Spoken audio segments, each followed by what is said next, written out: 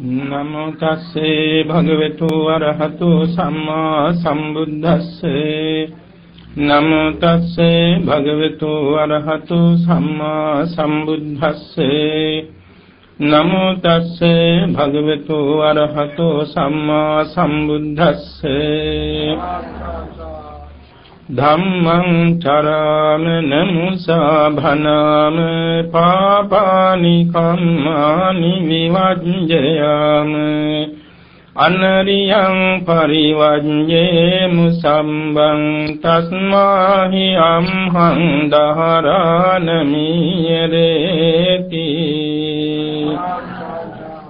ශ්‍රද්ධාවන්ත පින්නතුනි තුන් ලෝකාග්‍ර වූ භාග්‍යවත් වූ අරිහත් වූ සම්මා සම්බුදුරජාණන් වහන්සේ විසින් ලෝතුරා බුද්ධ රාජ්‍යයට පැමිණ අවුරුද්දක් පිරුණු වෙසක් පුර පසළොස්වක් පොහෝ දවසේදී කපිලවස්තු පුර නුවරට 20000ක් මහරහතන් වහන්සේ සමග වැඩම කරවන්න යෙදුණා. කේමක කියන ශාක්‍ය රජුරුවන්ගේ නිග්‍රෝධ උයන බුදුපාමොක් සංගරුවනට පූජා කරනු ලැබුණා. එදවස්සිදී තථාගතයන් වහන්සේ මෞපස ඥාති කුල 80000ක්, තේපස ඥාති කුල 80000ක් දෙනාට බුදු මහිමේ දක්වමින් අහස පුරා රැස් වූ දෙවි දේවතා බමුණට මඟඵල නිවන් සුව සලසා දෙනු පිණිසත් යමා මහ පෙළහැර පාණ්ඩ යෙදුණා. ඔය සිදුවීම ආශ්චර්ය ජනක සිදුවීමක්. මහ ජනතා මැද්දේ මුලින්ම යමා මහ පෙළහැර පෑම සිදුවනේ ওই දවසේදී. හරියට වෙසක් පොර පසළොස්වක් පොහෝ දවසේ. බුදු වීමෙන් අවුරුද්දක් පිරුණු දවසේ. යමා මහ පෙළහැර පෑම අවස්ථා කීපයයි තිබුණේ. එයින් පළමුවෙනි අවස්ථාව බුදු වීමෙන් දෙවෙනි සතියේදී බෝධීන් වහන්සේටත් වජ්‍රාසනයටත් අනිමිසලෝචන පූජා කරන වෙලාවේ දෙවි දේවතාවෝ හිතලා තියෙනවා මේ සිද්ධාර්ථ ගෞතමයන් වහන්සේ තාම බුද්ධත්වයේ ලබාගෙන නැද්ද? අයි මේ වජ්‍රාසනයේ දෙසත් බෝධි වෘක්ෂයේ දෙසත් බලාන ඉන්නේ කියලා හිතක් පහළ වුණා.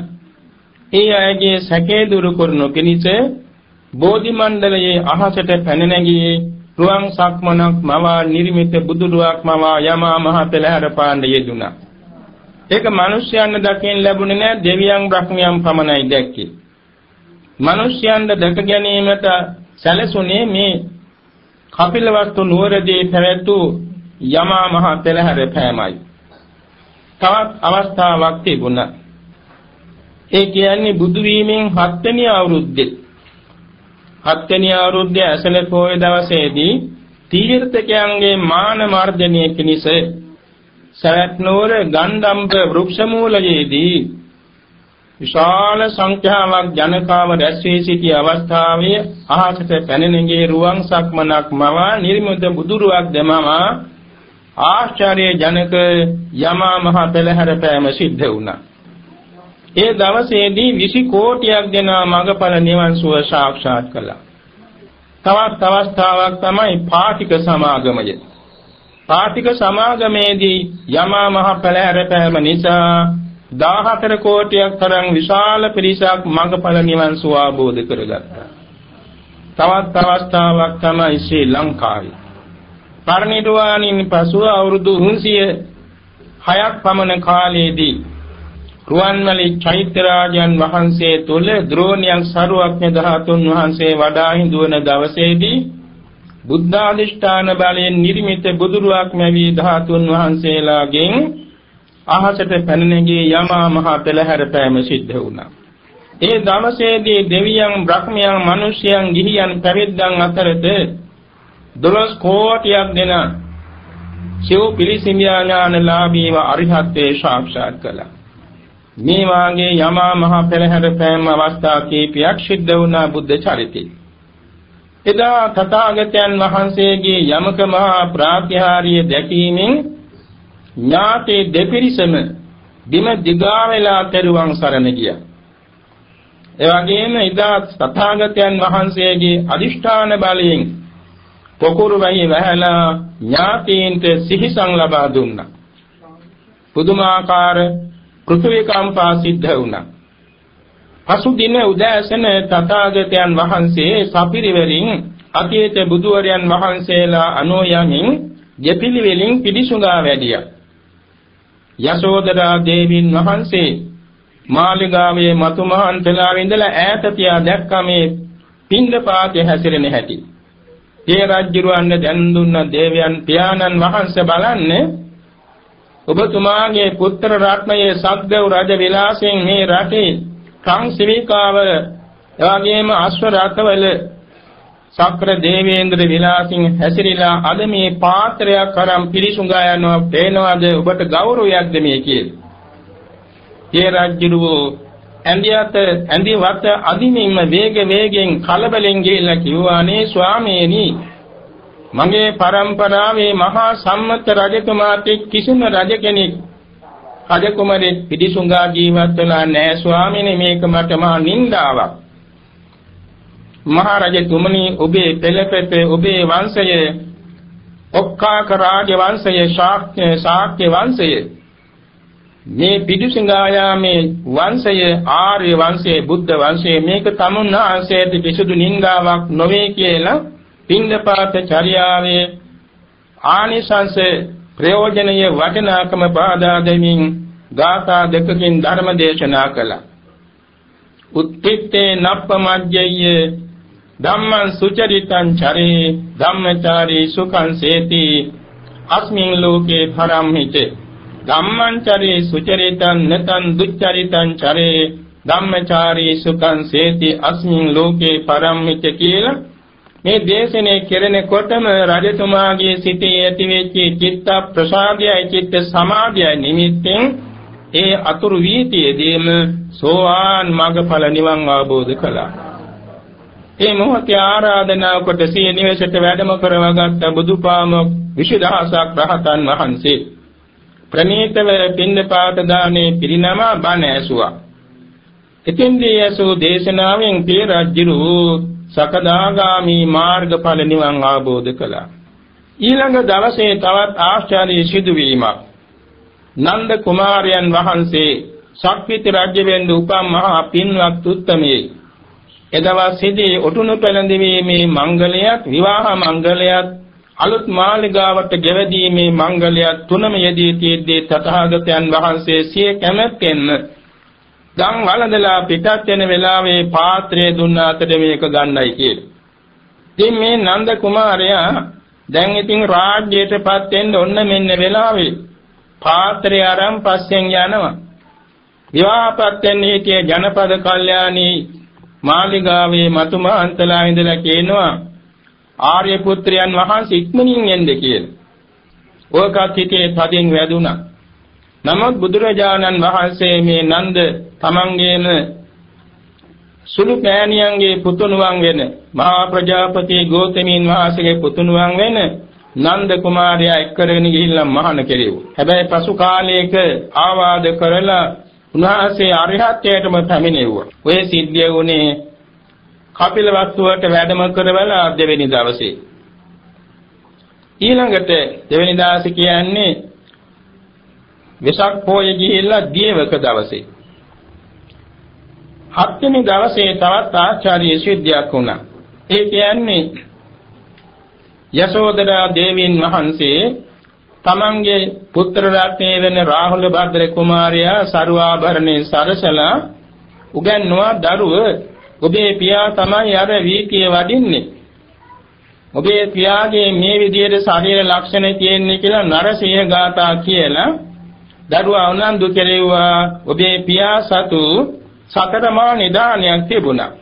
ඒ සියල්ල ඔබට හිමි වෙනවා දායාද වශයෙන්. ඔබ ඉදිරියේදී සක්විති රජ වෙනවා.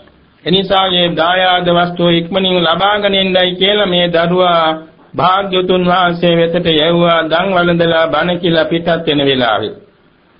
මේ දරුවා මාලිගාවෙන් බැහැලා තථාගතයන් වහන්සේගේ ඇඟිල්ල එල්ලුණා සුඛාතේ සමන ඡායා කියලා. ස්වාමීන් වහන්සේගේ හේවණල්ල හරි සනීපයි කියමින් සුරතල්බත් දොඩමින් ඒ අනුවම ගියා. මට දායාද දෙන්න මං සක්විත රජ වෙනවා පියාණන් වහන්සේ මට දායාද දෙන්න කිය කිය ඉල්ලමින් ගියා. භාග්‍යතුන් වහන්සේ වචනයක් කතා නොකොට නිග්‍රෝධාරාමේට පැමිණ සරියොත් මොගලන් දෙනමට බාර කළා මෙන්න මේ රාහුල භද්‍ර නම රාහුල භද්‍ර කුමාරයා මගේ දායාද වස්තු ඉල්ලනවා මගේ ආර්ය දායාදේ දෙන්න ඉසකෙස් බාලා කසාවත් හැඳ පෙරවලා සාමණේර පැවිද්ද දෙන්නයි කියලා විධාන කළා. සරියොත් මොගලන් දෙනම වහන්සේ මේ රාහුල භද්‍ර කුමාරයා පැවිදි කෙරෙව්වා. මේ තමයි පළමුවෙන් බුදු සසුනේ සාමණේර පැවිද්ද. එතෙක්ම බුදු සසුනේ අවුරුද්දක් පැවතුනේ උපසම්පදා කරවීමෙන්මයි පැවිදි වීම පිළිටන්නේ. තිසරණේ පිහිටීමෙන් උපසම්පදාම පිළිටනවා එතෙක්. ඒ දවසෙන් පස්සේ තිසරණගත උපසම්පදාව ප්‍රතික්ෂේප කරලයි ශාමණේර පැවිද්ද අනුදැනවදාලේ මේ රාහුල භද්‍ර ස්වාමින් වහන්සේ උදෙසා. බුද්ධ ශාසනයේ ශික්ෂාකාමීන්ගෙන් අගතන්පත් වුණේ මේ රාහුල භද්‍ර ස්වාමින් වහන්සේ. වාස හතේදී පැවිදි වුණ වාස 16දී පමණ චූල රාහුල වාද සූත්‍රයේ අසලා අන්දවනයේදී කෝටි ලක්ෂයක් දෙවිබඹ සමග සෞකලස්නසා මහා රහත් භාවයට පත් වුණ එදා වාසයේදී අසංකේය පිරිස සෝවාන් මඟඵල නිවන් ආબોධ කළා. ඔය සිදුවීම තථාගතයන් වහන්සේ කපිලවස්තු නුවරට වැඩම කළ අත්වෙනි දවසේදී. එදා හැන්දෑවේ සුද්ධෝදන මහ රජුගේ දුවගෙන ආවා විහාරස්ථානියට. ඇවිල්ලා වැඳලා කිව්වා බගෑපත්ත ස්වාමීනි භාග්‍යතුන් වහන්සේ ඔබ වහන්සේ ශක්තිති රජ වෙනවා දකින්න මට ලොකු ආසාවක් තිබුණා. ඒක මට අහිමි වුණා. ඔබ වහන්සේගේ සොහයුරු නන්ද කුමාරයා ශක්තිති රජ වෙනවා දකින්න මම බොහෝම කැමැත්තෙන් හිටියා. ඒකත් මට දැන් අහිමි වුණා. මට සැනසෙන්න හිටියේ මේ රාහුල කුමාරයා විතරයි. මගේ පැතුමක් තිබුණා මගේ ජීවිත කාලය තුලදී මේ මගේ මුණුබුරා සක්විත රජ වෙලා සිවුරංග සෙනග පිරවදාගෙන අහසේ හැසිරෙනවා දකින්න ලැබේවා කියලා. අනේ ස්වාමීනි ඒ දරුවත් මහාන කරගත්තා. දැන් ඒකෙන් මට ලොකුම පාඩුවක් වුණා ස්වාමීනි. ස්වාමීනි මේ දරුවන් ගැන දෙමව්පියන්ගේ වැඩිහිටියන්ගේ సంతානෙහි සිවි සම්මස්නාර ඇට ඇට මෙදුළු දක්වා දරු සෙනහස විනිවිද ගිහින් තියෙනවා පැතිරීගෙන ගිහින් තියෙනවා. ඒ නිසා ස්වාමීනි මින් මත්තේ දරුවෙකු සසොන්ගත කරනසේක් නම් දෙමව්පියන්ගේ වරම් ඇතුවම කළ මැනව කියලා බොහොම ගෞරවයෙන් ආරාධනා කළා. එදා සිකපදයක් පනවන්න යෙදුන අවසර නැතුව දරුවෙකු පැවිදි නොකළ යුතුයි කියලා. මේ සිදුවීම උනේ 7 වෙනි දවසේදී. 8 වෙනි දවසේදී අනුපිළිවෙලින් දිනපතාම රජවාසලේ බුදුපාමොක් ඉෂිදාස සංඝරත්න මහා දාන පිරිනැමුවා. 8 වෙනි දවසෙත් ඔය වගේම සිද්ධියක් වුණා. ඒ දවසේ තමයි මා මේ මාතෘකා කළ ගාථාව ඇතුළු මහා ධර්මපාල ජාතක දේශනේ පවත්වන්න යෙදුනි. එදවසේදී දන් වළඳන අවසානයේදී ධර්ම දේශනාවට ප්‍රථමයෙන් රජතුමා සමීපයට ඇවිල්ලා වැඳලා තමන්ගේ විශේෂ කාරණයක් මතක් කළා. ස්වාමීනි භාග්‍යතුන් වහන්සේ ඔබ වහන්සේ උපන්න දවසේ අසිත කාලදේවල තාපසතුමාගෙන් මට දැනගන්න ලැබුණ ලෝතුරා බුදු වෙන බව. එදා මං ඔබ වහන්සේගේ පතුල් වැන්ද පළමු වරට. ඔබ වහන්සේ ඉපදී පස්වෙනි දවසේ නම් තබන උත්සවයේදී 108 දෙනෙක් බ්‍රාහ්මණ පරිවරයන් ගෙන්නන ලක්ෂණ පරීක්ෂා කළා. හත් දෙනෙක් කියා හිටියා සත්විති රජ වෙනවා ගිහිව හිටියොත් පැවිදි වුණොත් ලෝතුරා බුදු වෙනවා කියලා. එක නමක් එකතාමේ පඬිත පඬිවරයෙක් පමණ කියා හිටියේ ගෝසලෝතුරා බුදු වෙනවාමයි සත්විති වන්නේ නැහැ කියලා. එසේ නමුත් මගේ බලාපොරොත්තු තිබුණ ශක්තිය රාජ්‍යයටපත් වෙන හැටි දකින්න. එවැගේම ඔබ වහන්සේ ඉපදලා පස්වෙනි මාසේ වක්මඟුල් උළෙලේදී දමගස් සෙවණේදී බද්ද පාරියංකයෙන් යුතුව සමාපත්තියේ සමයදී හිටිය ආකාරය දැකලා මන් දෙවෙනි වරටත් ඔබ වහන්සේගේ පතුල් වැන්දා. ඔය අතර ඔබ වහන්සේ වයස 29 දී අභිනිෂ්ක්‍රමණය කොට පැවිදි වුණා. පැවිදිච්ච දවසේ පටන් මම තොරතුරු විමසමින් හිටියා. ඔය අතරේ තර දවසක ස්වාමීනි දේවතාවෙක් ඇවිල්ලා මට කියනවා රාත්‍රී ඉන්දන කාමරයේ බබළුවාගෙන ඇවිල්ලා මහරජතුමනි තමුන්වහන්සේගේ පුත්‍ර සිද්ධාර්ථ කුමාරයා අපවත් වුණා කියලා. මම ඇහැවා පිර අපවත් වෙලා මේ බුදු වෙලාද අපවත් උනේ නැත බුදු වෙන්න වීරිය කරද්දි. එහෙනම් මගේ පුත්‍ර වෙන කවදාකවත්ම බුදු නොවි කලුරිය කරන්නේ නැහැ කියලා මං දේවතාවට මගේ විශ්වාසය කියා හිටියා. ආපසු ඒ දේවතාවා ගිහලා ආයසරයක් පණිවිඩයගෙන ආව නැතම රජ අපවත් වෙලා නැහැ සිහියෙන් ඉන්නවා කියලා. ඒ මොකද බෝසතාණන් වහන්සේ දුෂ්කර ක්‍රියා කරන කාලයේදී අප්පානක ධානය කියලා භාවනා ක්‍රමයක් කළා. ඒ කියන්නේ සම්පූර්ණයෙන්ම දෙකන් සිදුරු වහගෙන නාසිකා සිදුරු වහගෙන කට තද කරගෙන හුස්ම රඳවා ගන්නවා. හුස්ම රඳවාගෙන ඉන්න වෙලාවේ දැන් ශරීරයේ ඇටසැකිල්ලක් වගේම කුස නිසාම ක්ලාන්ත වෙලා වැටෙනවා. බලන්න ඉන්න කෙනෙකුට පේන්නේ අපවත් වුණා කියලා. කොහොම වාර කීපයක් සිද්ධ වුණා. ඉතින් මේ රජුරෝ කියනවා ස්වාමීනි එහෙම වාර කීපයක්ම දේවතා ඇවිල්ලා ඔබ වාසේ අපවත් වුණා කිව්වට මම බාරගත්තේ නෑ. නැවතත් ඒ දේවතා ඇවිල්ලා කිව්වේ අපවත් වෙලා නෑ තාම සිහියෙන් ඉන්නවා කියලා. ස්වාමීනි ඒ මගේ පිළිගැනීම අද මට සාර්ථකව දෙනකින් දැක් ගන්න ලැබුණා. ඔබ වහන්සේ සක්විත රජ වෙලා සිවුරංග සෙනඟ පිරිවරාගෙන ගගන තලයේ රුවන් සක්මනක් මම යමා මහ පෙළාර පාන මේ කියන්නේ සක්‍රුවණී ආනුභාවයෙන් අහසේ සිසාර ඇවිදින හැටි දකින්න මට ලැබෙනවා නම් ලොකු සතුටක් ගිහි කෙනෙක් හැටියට.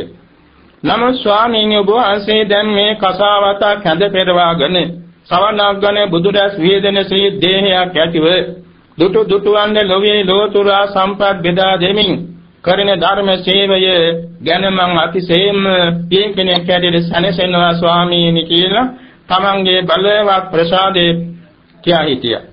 ඒලා මේ ශරුවක්යන් වහන්සේගේ බුදු ඇසට පෙනී ගින් තිබුණා ඒ රජතුමාට අනාගාමී වීම තරම් නුවණ මුහු කරවා තියෙන බව. ඒ නිමිත්තෙන් තමයි මේ දේශනේ පැවැත්වුවේ. ශරුවක්යන් වහන්සේ ආදාලා පිය රජුරුවෙනි අද මේ ජීවිතයේදී ඔබ නුවණ මොහ කරවාගේ අවස්ථාවේදී මා වැනි කෙනෙක් පුතුණු කෙනෙක් ගැන විශ්වාසය තැබීම පුදුමයක් නෙමෙයි. ඔබ මා උපන් දවසේම තේරුම් අරන් තිබුණා නේද ලෝතුරා බුදු වෙනවා කියලා.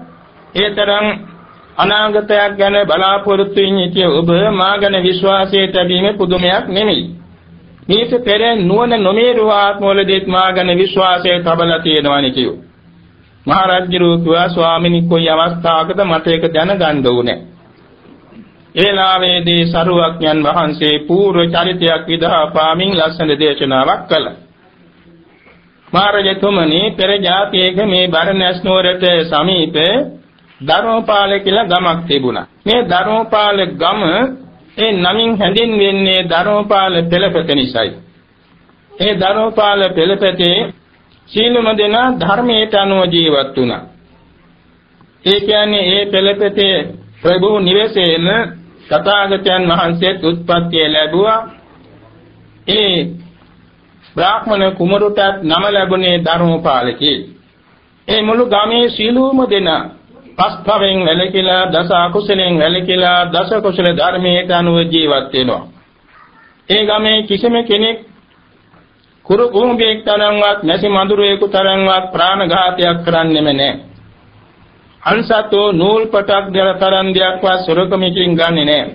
මිත්‍යාචාරයක් ගැන හිතක්වත් නැහැ. බොරුවක් කියන්නේ නැහැ. මද්යපානයක් කරන්නේ නැහැ. කේලම කේලම් බසක් කියන්නෙම නැහැ. පර්ශුබස් කියන්නේත් නැහැ. හිස් වචන කියන්නේත් නැහැ. අනුන්ගේ දේට ආසා කරන්නේත් නැහැ. ක්‍රෝධ ඊර්ෂ්‍යා කරන්නේත් නැහැ. මිසතුටු ගන්නෙත් නැහැ. ඔය දස අකුසලෙන් වැළකීලා දස කුසලයට අනුවම ඒ මුළු ගමේ සියලු දෙනාම ජීවත් වුණා. ඒ අතරේ මේ බෝධිසත්ව කුමාරයන් වහන්සේ වයස 16 වෙනතුරු මව්පියන්ගේ හෙවණියම මූලික අධ්‍යාපනය ලැබුවා. වයස 16න් පසුව බරණැස් නුවර දිසාපාමොක් ආචාර්යවරයෙක් වෙත මේ ධර්මපාල කුමාරයා බාර දුන්නා. මේ දිසාපාමොක් ආචාර්යයන් වහන්සේගේ ශිෂ්‍ය පන්තිවල හිටියා 500ක් පමණ කුමාරවරු. බ්‍රාහ්මණ කුමාරවරු රාජ කුමාරවරු নানা විදම උසස් පන්තියේ අය. ඒ හැම දෙනාට වඩා බොහෝම දක්ෂ ලෙස ගුරුවරයාගේ සිත දිනාගෙන මේ ධර්මපාල කුමාරයා ඉගෙනීමේ යෙදුණා. හැම දිනම මේ ධර්මපාල කුමාරයා ගැන පුදුම විශ්වාසයක් ගෞරවයක් පැවැත්තුවා ඒ තරම් දක්ෂ ඒ තරම් සුවිනීත ඒ වගේම බුද්ධිමත් ධාරණ ශක්තිය ඇති උතුමෙක් නිසා ඒ අතර දිසාපාමොක් ආචාර්යයන් වහන්සේගේ ජේෂ්ඨ පුත්‍රයා හදිසියේදී කලුරී කළා. මේ කලුරී කිරීම ගැන මුළු මාත් ගුරු මඬුල්ලයි සිසු පිරිසයි නෑද පිරිසයි හඳා වැළපුණා. මේ දරුපාල කුමාරයා පමණක් හඳමින් වැළපෙමින් ගත කරේ නෑ කඳුලක්වත් යගුරුවේ නෑ. හැබැයි ඒ කටයුතු වලදී ඒ අවසාන කටයුතු ආදාන කටයුතු හැම එකකදීම පෙරමුණගෙන සහාය දෙමින් වැඩ කරා නම් කිසිම වෙලාවක ඇඳීමක් ඇදිවේ නැහැ. මේ කණි ශිෂ්‍යයන්ද විමතියකට හේතු වුණා. ඒ ආදාන කටයුතු කොහොම අවසන් කළා නැත සාකච්ඡා කරන වෙලාවේ සසු ශිෂ්‍ය පිරිස අහලා තියෙනවා ධර්මපාල කුමාරයාගෙන් මිත්‍රයේ ධර්මපාලය අපේ ගුරු පියාණන් වහන්සේගේ දෙටු පුතාණන්ගේ අභාවයෙන් අපි කවුරුත් හැඳුනා වැළපුණා. නමුත් තමුන්නාසයයි ඇඬුවේ නැත්තේ වැළපුණේ නැත්තේ තමුන්නාසයේ කමනාපයක් තිබුණාද? නෑ මට බොහෝම ප්‍රියයි මනාපයි මගේ ගුරු පියාණන්ගේ පුතණුව. මම ඇඬුවේ නැත්තේ මේක අකල් මරණයක් මේක අයුතු මරණයක් නේ කියලා. ඇයි මිත්‍ර ධනෝපාලයේ මරණයට වයස නියමයක් නෑ නේද? ඔව්. සීල ශාස්ත්‍ර අගණිත බව මම දන්නවා. නමුත් අපේ ගමේ නම් මේ වාගේ අකල් මරණයක් අහන්න නැහැ. අපේ ගමේ සීලොම දෙනාම නීම පරමාශ විඳලා තමයි පරලෝ යන්නේ. ඒ නිසා මේක අයුතු මරණයක් ඒ නිසා මම කනගාටු වෙන්නේ කිව්වා. මේ කතාව දිසාපාමොක් ආචාර්යවරයා දක්වා ගියා. දිසාපාමොක් ආචාර්යවරයා බොහොම බුද්ධිමත් කෙනෙක් නිසා මේ ගැන කල්පනා කළා මෙහි අභ්‍යන්තරේ සොයා බලන්න ඕනේ කියලා. ටික දවසකින් පස්සේ තමන්ගේ සුළු අතවැසියෙකුත් එක්ක ශිෂ්‍ය පන්ති වලට වැඩ බාර දීලා ගියා මේ ධර්මපාල ගම බලාගන්න. ඒ අනකොට පිට්ටනියක තිබුණ එළුවෙකුගේ කටුවගයක්. මැරිච්ච එළුවගේ කටු ඇට කටු තිබුණ ඒක සෝදාගෙන පසුම්බියක දාගත්තා කතාවක් උපදවන්නේ. ධර්මපාල ගම බලාගෙන ගිහිල්ලා ඒ ප්‍රධාන ප්‍රභූ නිවසට යනකොට දුරදීම කෙනෙක් ආවා ඉස්සරහට. ඇවිල්ලා ආචාර කළා අතේ තියෙන කුඩයයි, එවාගෙම කෙන්ඩියයි, හැරමිටියයි මේව බාරගත්තා. තා කෙනෙක් පාදෝනා පැන්නෙලවා කිව්වා. තා කෙනෙක් වාඩි වෙන්න ආසනයක් හදලා පැනෙව්වා. තවත් කෙනෙක් පවන් වත්තක් අරගෙන මෙතුමාට පවන් සැලුවා. තවත් කෙනෙක් බීමට පිරිසුදු පැන් ගෙනත් පිළිගැන්නුවා. මේ ඔක්කොම කවුරුත් විධාන කරන්නේ නැතුව හැමදෙනාම සිය කැමැත්තෙන් සිදු කළ උපස්ථාන. මේ උපස්ථාන ගැන එතුමා පුදුම සතුටටපත් වුණා. මේම උපස්ථාන සමහර ගම්වල සමහර නිවෙස්වල සිදු වෙන්නේ නැති නිසා. මේ සියලු උපස්ථාන පිළි අරගෙන අර ධනෝපාල කුමාරයාගේ පියතුමා මෞතමිය පවුලේ සියලු දෙනා සමීපයට කැඳවගත්තා. කැඳවාගෙන සාකච්ඡා කළා මම මේ අසවල් දසාපාමොක් ආචාර්යවරයා. මේ ගෙදර පුතාවන ධර්මපාල කුමාරයා ඉගෙන ගන්නේ මගේ ආයතනේ. මේ ධර්මපාල කුමාරයා හරියම සුවිනීතයි සුවචයි කීකරුයි. එවාගේ බොහොම බුද්ධිමන්තයි. ධාර්ම ශක්තියෙන් එහා සමාන කෙනෙක් මගේ ශිෂ්‍ය පස්තිවල කිසි කෙනෙක් නැහැ. එවාගේම එකවරක් කියන දේ නැවත කියන්න අවශ්‍ය නැහැ බොහෝම දක්ෂ ලෙස හැම දෙයක්ම ක්ෂණිකව ඉගෙන ගන්නවා. හැබැයි දරුවා හදිසි අන්තරා වුණා. ඒ දරුවා අන්තරා වීමේ පණිවිඩය වෙන කෙනෙක් අතේ නොකිය මා පැමිණි ඒ දරුවා කෙරේ මගේ තිබුණු බලවත් ගෞරවය හා ප්‍රසාදය නිසා ඔබ සෑම දෙනාට ඒ ගැන විස්තර පහදා දෙන්නටයි. එතකොට මේ පියතුමා hina වෙන්න පටන් ගත්තා. මේ ගුරුවරයා හැවා දරුවා නැතුණ කියනකොට hina වෙන පිය කෙනෙක් ඉන්නවද? ඔව්. කවදාකවත් ඒ කෙනෙක් hina වෙන්නේ නැහැ දරුවා නැති වුණා කිව්වම. මගේ දරුවා නෙමෙයි වෙන දරුවෙක් නැති වෙන්න ඇති කිව්වා. එතකොට අර පසුම්බියේ දාගෙන හිටියේ කටු පෙන්නවා මෙන්න දරසායෙන් ගත්ත භස්මාවශේෂ කියලා. අත්කොල සංගාල ගෙදර ඔක්කොම hina වුණා. ඕකේ එළුවෙකුගේ නැත්තම් සුනකයෙකුගේ මිනිස්සෙකුගේ නෙමෙයි. මගේ දරුවා කවදාකවත්ම අකල් මරණයකට යන්නේ නැහැ. කියලා අවංකවම ප්‍රකාශ කළා. ඒ වෙලාවේ මේ දිසාපාමෝක ආචාර්යයන් වහන්සේ ආසනෙන් නැගිට්ටා. නැගිටලා බොහොම ගෞරවයෙන් ආචාර කරලා ප්‍රශ්නයක් ඇහුවා.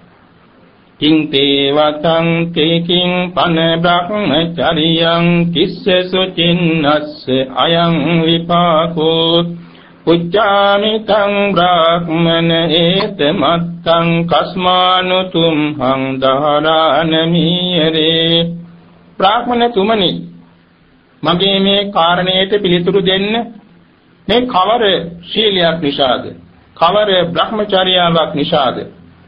කවර වෘත්තියක් නිසාද තමුන්හන්සේලාගේ පෙළපෙතේ දරුවෝ අකල් මරණයට නොයන්නේ කියලා ප්‍රශ්නයක් ඇහුවා. ඒ වෙලාවේදී මේ ධනෝපාල පියතුමා කියපු ප්‍රවෘත්ති අතර පළවෙනි ගාථාව තමයි මාතෘකා කෙලේ. ධම්මං චරාමන මුසාබනම පාපානි කම්මානි විවජ්ජයාම අනරියං පරිවංජේමු සම්බං තස්මාහියම් හං ධාරානමීරේ පින්වත් දිසාපාමෝ කාචාරිතුමනි අපි සීලුම දෙනා දස කුසල ධර්මයේ හැසිරෙනවා. කවදාකවත් බොරුවක් කියන්නේ නැහැ. කවදාකවත් අපාගාමී අකුසලයක් කරන්නේ නැහැ. අනාර්යයි කියන අවඩක් අපේ කවුරුත් කරන්නේ නැහැ. මේ නිසා අපේ දරුවන්ට අකල් මරණයක් වන්නේ නැහැ දීර්ඝායුෂ ලැබෙනවා. තුනෝම ධම්මං අසතං සතං ච නචාපි ධම්මං අසතං රෝචයාම. හිත්වාං අසන්තේන ජහාම සන්තේ තස්මාහියම් හං දාරානමීරේ පින්වත් ආචාර්යයන් වහන්සේ අපි බණ අහනවා. කර්ම ක්‍රියාවාදී ඒකනේ සම්‍යක් දෘෂ්ටික උතුමන්ගේ බණත් අහනවා. මිසදුතු අයගේ බණත් අහන්න ලැබුණොත් අහනවා. නමුත් මේ මිසදුතු අයගේ බණ අහලා ඒ ඇත්ත එක්ක අපි විරුද්ධ වාද විවාද වලට යන්නේ නැහැ. ඒ ඇත්තන්ගේ බණ ඇසෝ පමණින් අපි හිතින් ප්‍රතික්ෂේප කරනවා. ඒ වගේම සම්‍යක් දෘෂ්ටික කර්මක්‍රියාවාදී උතුමන්ගේ බණ අහලා අපි ඒ අනුව අපේ ගුණ ධර්මතාව දියුණු තියුණු කරගන්නවා. මේ නිසා අපේ පෙළපෙතේ ආයත දීර්ඝාස ලැබී තියෙනවා. කුබ්බේ වේදාන සුමන භවම දදම් පිචේ අත්මන භවම දත්තා පිචේනානුතප්පාම පච්චා තස්මාහි අම්හං දහරානමීරේ පින්වත් ආචාර්යයන් වහන්සේ අපි දන් දෙනවා. දන් දෙන්න ඉස්සර වෙලා අපි හිත පාදවා ගන්නවා අපි ධාර්මික උපයාස අපයා ගන්න මේ දාන වස්තුව මෙතුමානන්ද දිව්‍ය ඖෂධයක් වේවා අමා ඖෂධයක් වේවා. මේ අපේ ආහාර පාන ආදී දේ පරිභෝග කරලා ආයුවන්නේ සැප බල ඥාණයෙන් වැඩෙත්වා. එවාගේ මේ පරිත්‍යාග කුසලය අපට සුගති සැපත් කෙලවර අමා මහ නිවන් සුවය පිණිසත් ඒකාන්තයෙන් හේතු වේවා කියලා පිළිත පහදවා ගන්නවා පළමුවෙන්. දන් දෙන වෙලාවේ ඊටත් වඩා හිත පැහැදීමෙන් දන් දෙනවා. දන් දීලා අවසානයේ තවත් අපේ හිත වඩා වඩා පහදවා ගන්නවා. මේ අවස්ථා තුනේදීම තුන්සෙත පහදවාගෙන සෝමනස්ස සාගතෝම ඥාන සංප්‍රයුක්තෝම සිතින් දන් පින්කම් කරන නිසා අපේ පෙළපෙතේ දරුවන්ට දීර්ඝායුෂ ලැබී තියෙනවා කියලා පහදා දුන්නා. ඊළඟට ගාථා පේලීකින් නැවත නැවත කරුණු කිව්වා ඊළඟට සඳහන් කරන්නේ අපේ නිවසට එනවා බොහොම ආගන්තුක පරිද්දු. දුගී මගේ අසරණේ වෙනවා. ඒ සීලම දෙනා අපි බොහොම ආදරෙන් පිළිගන්නවා. දුගියෙක් මගේ කසරණේක් ආවත් අපි හිතනවා මේ අපේ කල්යාණ මිත්‍රයෙක්. සිල්වත් ගුණවත් උතුමෙක් ආවත් අපි හිතනවා මේ අපේ කල්යාණ මිත්‍රයෙක් කියලා. අපි පෙරගමන් කළ යත්තන් ආචාර කරනවා. ආචාර කරලා අපේ නිවසේට පමුණවාගෙන සුදුසු පරිද්දෙන් ආසන පනවා වඩා හිඳවලා පවන් සලසා සලලා. ඒ ඇත්තන් අවශ්‍ය මොනවද? කෑම බීම ඇඳුම් පැළඳුම් බෙහෙත් හේත් පාවාං ආදී ඕන ඕන දේවල් අපි සියල්ලම සම්පාදනය කරලා ඒ ඇත්තන්ගේ හිත පුරවාගෙන අපට ආශිර්වාද පවත්වලා තමයි ඒ ඇතු පිටත් වෙන්නේ. මේ දේ තේනේන සීලෝම ආගන්තුකයන් නිසසේ ආගන්තුක සත්කාර කරන නිසා අපේ පෙළපෙතේ දූ දරුවන්ට දීර්ඝ අවසර ලැබී තියෙනවා කියලා පහදා දුන්නා. ඒ වගේම පින්වත් ආචාර්යයන් වහන්සේ අපේ පෙළපෙතේ සීලෝම ස්වාමී පක්ෂය සුවදාන සන්තෝෂයේ කියන ගුණේ පුරනවා. ඒ කියන්නේ තමන් විවාහපත් වෙලා ඉන්න බිරිඳ හැද කිසිදාක පරදාර සේවනයකට යන්නේ නැහැ. හිතකින්වත් එසේ කරන්නේ නැහැ. ඊටා පිරිසුදු අපේ පිරිස ස්වාමී පක්ෂය ඔය ස්වදාර සන්තෝෂයේ කියන උසස් ගුණේ පුරනවා. ඒ වගේම අපේ නිවෙස්වල ස්වාමී දිලිතුරුවරු කියන්නේ භාර්යාවරු පතිවෘතා ගුණ ඊටාම හොඳින් ආරක්ෂා කරනවා. තමන්ගේ ස්වාමි පුත්‍රයා හැර කවමදාකවත්ම පර පුරුෂයෙකු ගැන හිතන්නේවත් නැහැ. ඒ තරමට පිරිසුදු හිතින් ප්‍රතිවෘතා ගුණය ආරක්ෂා කරන අපේ නිවෙස්වල භාර්යාවරු. මේ දෙපාර්ශ්වයේම ගුණවත් බැවින් ඒ දරුවන් ඒ අත්තන්ගේ දරුවන්ට දීර්ඝාස ලැබී තියෙනවා කවදාකවත් අඩු ආයසින් මේ පරිලෝ යන්නේ නැහැ. ඊළඟ ගාථාවෙන් කියා සිටි ආචාර්යයන් වහන්සේ අපි සීලුම දෙනා පංචශීලයේ මනමින් ආරක්ෂා කරනවා. කාමදාපවත් අපි ප්‍රාණඝාත කරන්නේ නැහැ. අදත්තාදානියක් නැහැ. මිච්ඡාචාරයක් නැහැ. සුරාපානයක් නැහැ. එවැගේ මුසාවාදයක් කියන්නේ නැහැ. මේ කියන පංචශීලයේ මනමින් අපේ ජීවිතේ දෙවෙනි කොට ආරක්ෂා කරනවා. ඒ නිසා අපේ දරුවන්ට දීර්ඝායුෂ ලැබී තියෙනවා කියලා සඳහන් කරන්නේද. එවැගේම පින්වත් ආචාර්යයන් වහන්සේ අපේ දෙමව්පියෝ අපේ සහෝදර සහෝදරියෝ අපේ දූ දරුවෝ පවුල්වල සීලුම දෙනා පරලෝ අදාගෙන පස්පවෙන් වැළකී දස කුසලෙන් වැළකී දස කුසල ධර්මයට අනුවම පවතිනවා ඒ නිසා අපේ පෙළපෙතේ දරුවන්ට දීර්ඝායුෂ ලැබී තියෙනවා. එසේම ආචාර්යයන් වහන්සේ අපේ නිවස්වල වැඩ කරන දසේ දස් කම්කරු සේවක සේවිකාවෝ පවා පස්පවෙන් වැළකී දස කුසලෙන් වැළකී මෙලොව පරලොව යහපත පිණිස දස කුසල ධර්මයට අනුවම පවතිනවා. එනිසා අපේ පෙළපත් පෙළ දරුවන්ට දීර්ඝායුෂ ලැබී තියෙනවා. මේ ප්‍රවෘත්ති ඔක්කොම කියලා අන්තිම ගාථා දෙකක් මෙහිම ප්‍රකාශ කළා.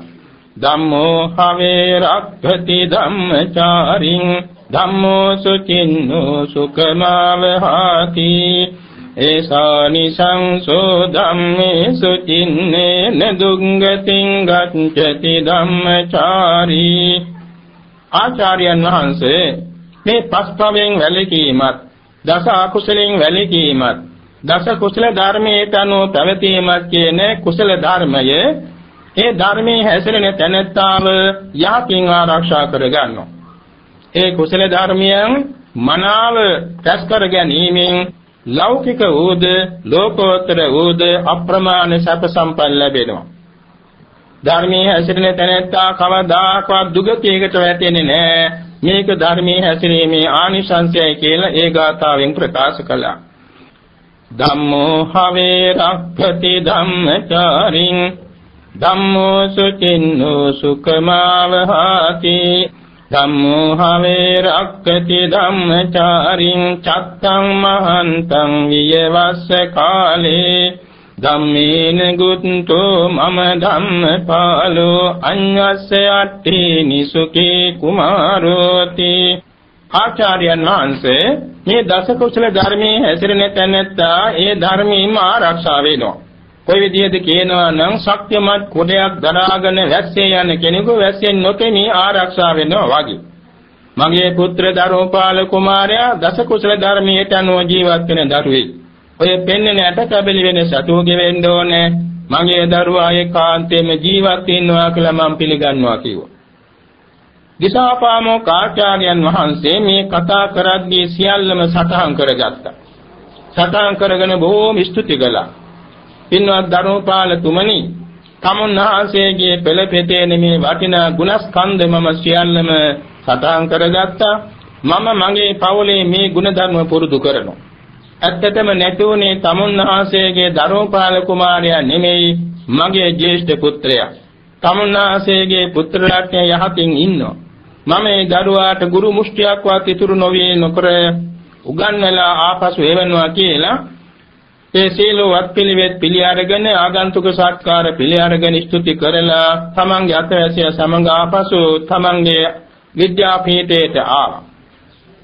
ඇයිලා ඒ ධර්මපාල කුමාරයාට විශේෂයෙන්ම ਸਰව ප්‍රකාරයෙන්ම ඉතුරුවක් නැතුව අධ්‍යාපනය දුන්නා. ඒ කාලේ ගුරු උරු ගුරු මුෂ්ටි තියාගන්නේ නැහැ. ඒ ශිෂ්‍ය දරුවන්ට තමන්ගේ දරුවන්ට වාගේ මනවින් කරුණා මෛත්‍රියෙන් සීල අධ්‍යාපනය දෙනවා.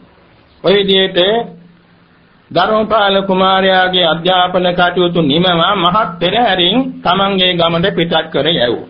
ඉතින් මේ ධර්මපාල කුමාරයා ජීවිතාන්තයේ දක්වා මව්පියන් උපස්ථාන කරමින් දස කුසල ධර්මයට අනුව පාරමී පුරමින් කෙලවර සපිරිවරින් දෙව්ලොව උපන්.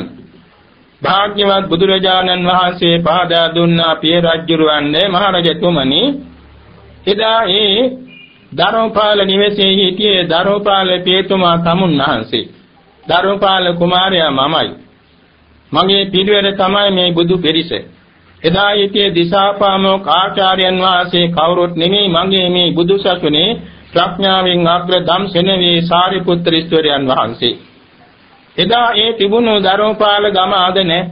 එදා ඒ තිබුණු මාලිගාවල් අද නැහැ. එදා ඒ තිබුණු නගර රාජධානි අද වෙනස් වෙලා. එදා හිටියේ දිසාපාමෝ කාචාර්යවරු ඒ විද්‍යාපීඨ මුකුත් අද නැහැ ඔක්කොම අනිත්‍යයට ගියා නේද? මේ වාගේ සීල සංස්කාර ඇතිව නැතුව යන බැවින් අනිත්‍යයි. ඇතිවීමෙන් නැතිවීමෙන් නිතර පෙළි පෙළි පවත්නා බැවින් දුක්ඛයි. කැමැතිසේ නොපවත්නා බැවින් අනත්තයි. පිළිකුල් වන බැවින් අසුභයි. අනිත්‍ය දුක්ඛ අනාත්ම අසුභ සීල සංස්කාර දුක්ඛ සත්‍යයි. ඒ දුක ඇති කරන තෘෂ්ණාව දුක්ඛ සමුදය සත්‍යයි. ඒ දෙකම නැති අසංකත ධාතු නිර්වාණය නිරෝධ සත්‍යයි. නිවන අවබෝධ කරන ආර්ය අෂ්ටාංග මාර්ගයේ මාර්ග සත්‍යයි. බුදුපසේ බුදුමහරහතුන් වහන්සේලා මේ චතුරාර්ය සත්‍ය අවබෝධයෙන් සතර මඟ ඵල පිළිවෙලින් සියලු කෙලෙසුන් ජයගෙන අමා මහ නිවන සාක්ෂාත් කරගන්නවා කියලා ත්‍රිලක්ෂණ චතුරාර්ය සත්‍ය පහදා දෙමින් ධර්ම දේශනේ සමාප්ත කළා. ඒ දේශනාව පවත්වාගෙන යද්දී පිය රජුරුවන්ගේ හිතේ සමාධිය වැඩිලා විපස්සනා ඥාන වැඩිලා දෙසොම් කෙළවරදී එතුමා අනාගාමී මාර්ගඵලයෙන් අමා මහ නිවන සාක්ෂාත් කළා. එයින් අවුරුදු 4ක් ගිය තැන අපේ සරුවක්ඥන් වහන්සේ බුදුබාටපත් වෙලා අවුරුදු 5ක් වෙන කාලයේදී පිය රජුරෝ ගිලන් වුණා. ඔය ගිලන් ස්ථානයේට අගසව් දෙනම සංඝ සරුවක්ඥන් වහන්සේ වැඩියා. වෙලා ගිලන් අඳේම ඉන්න පිය රජුරවන්ට විශේෂ ධර්ම දේශනයක් පැවැත්තුවා. දෙසුම් කෙළවරදී පිය රජුරෝ ගිලන් අඳේම සව් කෙලස්නසා අරිහත්ත්වයටපත් වුණා. දින හතක් අවශ්‍ය තිබුණ නිසා පැවිදුනේ නැහැ. ඒ දින හත තුලදීම ඇඳේදීම සමාපatti සෝයෙන් වැඩ ඉඳලා ආයු කෙලවර අනුපාදේශේෂ පරිනිර්වාණයෙන් අමා මහ නිවන් පුර වැඩියා. මේ කල්ප ලක්ෂ ගානක් තිස්සේ බුදු වෙන උත්තම යෝගයේ පිය තනතුර දවන්න පැමිණියා වූ මහා පුණ්‍යවන්තයෝගේ කෙටි චරිත කතාවක්. සැබවින්ම එදා මහා බෝසතාණන් වහන්සේ උත්පත්ති ලැබෙන දවසේදීම මේ පිය රජුරෝ බලවත් ප්‍රසාදයට පත් වෙලා තමයි දරුවාගේ දෙපා දෙක අල්ලගෙන නල්ලකට තියාගෙන වන්දනා කෙලේ. දෙවෙනි වාරට පස්වෙනි මාසයේදී දඹගස් හැවනේදී සමවත් සූයෙන් වැඩ ඉන්නවා දැකලා දෙවෙනි වරටත් වැන්දේ ඔය ලෝතුරා බුදු වෙන බව ස්ථීර වාස්තු දැකගෙනයි. මේ බුදු වීමෙන් අවුරුද්දක් වෙන අවස්ථාවේ සිය නිවසට වැඩම කරවාගෙන මේ විදිහේ මහා පින්කම් කරගන්න වාග්යවන්තද වුණා. අන්තිමේදී ඒ ජීවිතයේදීම නැවත පුනර්භවයක් නොවන අසංකත ධාතු සංඛ්‍යාත අමා මහ නිවන සාක්ෂාත් කරගත්තා. මේ සඳහන් වෙනවා දස කුසල ධර්මයි කියලා ධර්ම සම්භාරයක්. ප්‍රාණඝාතයෙන් වැළකීම දස අකුසලයන්ගෙන් වැළකීම එක එක්තරා අකුසල කර්මයකින් වැළකීමයි. ප්‍රාණඝාතයෙන් වැළකී සියලු සතුන් අභේදීන දස කුසල කර්මයන්ගෙන් පළමුවෙන්නයි. එවාගෙම අදන් අදින්නාදානෙන් වැළකීම අකුසලෙන් වැළකීම දස අකුසලෙන් වැළකීමයි. එවාගෙම පරිත්‍යාගශීලී වීම දස කුසල ධර්මයට අනුව පැවතීමයි. මේ එකක් ගානේ දස අකුසල් සහ දස කුසල් තේරුම් ගති ගත යුතු වෙනවා. ඔයින් තුනක්ම කයින් සිදුවෙන අකුසල් හා කයින් සිදුවෙන කුසල ධර්මයක්. හතරක්ම වචනෙන් සිදුවෙන අකුසල් සහ වචනෙන් සිදුවෙන කුසල ධර්ම. තුනක්ම සිතින් සිදුවෙන අකුසල සහ සිතුම් කරන කුසල ධර්ම. මේ ඔක්කොම මහා බෝධිසත්වයන් වහන්සේලා පුරුදු කරගෙන ආපු ශ්‍රේෂ්ඨ ගුණ ධර්ම 10ක්. ඉතින් මේ දස කුසල ධර්මයන්ට අනුව පැවතීම නිසා තමයි එදා ඒ ධර්මපාල ගම ඒ තරම් වාසනාවන්ත ජීවිත ගත කරලා තියෙන්නේ. ඉතින් මේත භාගයේ අපේ සිංහල රටේ සිංහල රාජ්‍ය කාලයේදී මිහිඳු මහ රහතන් වහන්සේ වැඩම කළ බුදු සසුනේ පිහිටෙව කාලයේදී අවුරුදු ගණනාවක් අවුරුදු 1300ක් පමණ කාලයක් තිස්සේ ශ්‍රී ලංකාවත් ওই තත්ත්වයෙන් පැවතුණා. ඒ කාලයේ 100%ක් බෞද්ධයන්ගේ රජධානක් වුණා ශ්‍රී ලංකාද්වීප ධරණී තලය. ඒ කාලයේදී බොහෝ ආර්යයන් වහන්සේලා ශ්‍රී ලංකාවේ පහළ වුණා. උදේවරුේ වී වේලන මව්වරුන්ට වී පැදුරු වේලා ගන්න බෑ කියන අහසේ ආර්යයන් වහන්සේලාගේ සංචාරය නිසා ඉරාව ආවරණය වෙනවා. ඒ තරමට ආර්යයන් වහන්සේලාගෙන් ශ්‍රී ලංකා පිරි ඉතිරි පැවතුන නිහි බෞද්ධෝද නිතිපන්සීලකන පොහොයාට සීලකන පස්පවෙන් දස අකුසලෙන් වැළකුණ දස කුසල ධර්මයට අනුව පවතින පිරිසක්ව ජීවත් වුණා. ඒ විදිහට අවුරුදු 16කට වැඩි කලක් ශ්‍රී ලංකාව බුදු සසුන බැබළුණා. තින් කාලයාගේ රැමින් තමයි හැම දෙයකම වෙනස් වීම ස්වභාවයක් වන බැවින් අද කාලයේ තත්ත්වය ඊට වඩා ආත්පසින් වෙනස්ව පවතින්නේ. එසේ නමුත් බෞද්ධයන් වශයෙන් නැනවත් අය තම තමාගේ ජීවිතයේ ධර්ම ජීවිත බාට පමනවාගෙන ජීවත් වීම බුදු සසුනෙන් ලබන්න තියෙන උසස් මාර්ගයක් බව අපි තේරුම් ගත යුතුව තියෙනවා. ශාසන ආරක්ෂක ලෝකපාලක ආත්මාරක්ෂක ඉෂ්ට දේවතා මණ්ඩලය මේ උදාන කුසල සම්භාරය අනුමෝදන් වෙත්වා දිව්‍යමය ආයු වර්ණ සප බල ඓශ්වර්යයෙන් වැඩෙත්වා ගෞතම සම්මා සම්බුද්ධ ශාසනයට ශ්‍රී ලංකාවට බෞද්ධ ජනතාවට සිංහල ජාතියට සිංහල රාජ්‍යයට මේ ප්‍රදේශයටත් මේ මෞපිය දූ දරු ඥාති මිත්‍ර හැමදෙනාටම සීල ආකාරයෙන් සමදාම දේව ආරක්ෂාව සලසා දෙත්වා. අතු බෝධි වලින් සාන්ත නිවන් සුව ලබත්වා කියා මෛත්‍රියෙන් පින් පමුණුමු හිතවත් වූ දමදහත් වූ දහිතවත් වූ සියලු සත්‍යයන්වත් මේ ගම් වාසීන්ට අවත ගම් නගර ලංකාව දමදිවුතල මේ සක්වල සීලු සක්වල දස දිසා වාසී සමස්ත ලෝක සත්‍යයන්ට මේ පින ලැබේවා. සියලු සත්‍යෝ නිදුක් වෙත්වා නිරෝග වෙත්වා සුවපත් වෙත්වා තෙරුවන් සරණ යෙත්වා නිවන් මඟ ගමන් කෙරෙත්වා. ආරි සත්‍ය අවබෝධයෙන් සාන්ත නිවන් සුව ලබත්වා. කියා මෛත්‍රියෙන් පින් පමුණුවමු.